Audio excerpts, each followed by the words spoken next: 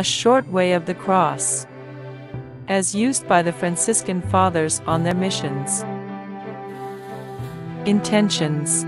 For our needs and for world peace in Jesus Christ's name. Amen. First station. Jesus condemned to death. O Jesus, so meek and uncomplaining, teach me resignation in trials. Second station. Jesus carries his cross. My Jesus, this cross should be mine, not thine.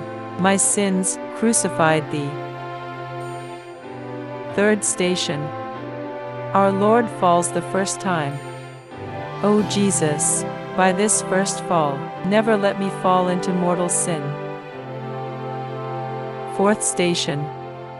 Jesus meets his mother.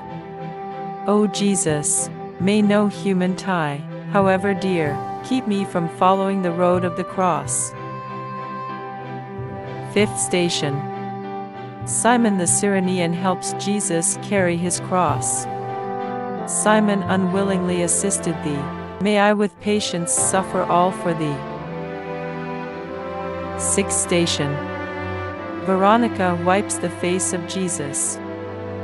O Jesus, thou didst imprint thy sacred features upon Veronica's veil, stamp them also indelibly upon my heart. Seventh station. The second fall of Jesus. By thy second fall, preserve me, dear Lord, from relapse into sin.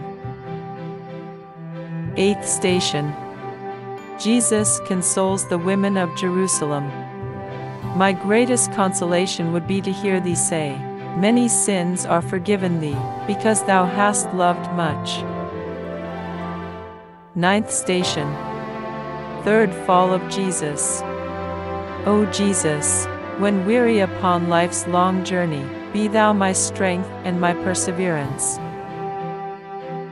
Tenth station. Jesus stripped of his garments. My soul has been robbed of its robe of innocence. Clothe me, dear Jesus, with the garb of penance and contrition. Eleventh station. Jesus nailed to the cross. Thou didst forgive thy enemies. My God, teach me to forgive injuries and forget them. Twelfth station. Jesus dies on the cross. Thou art dying. My Jesus, but thy sacred heart still throbs with love for thy sinful children. Thirteenth station. Jesus taken down from the cross.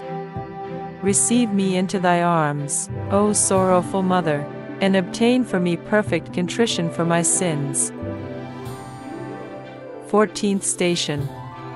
Jesus laid in the sepulchre.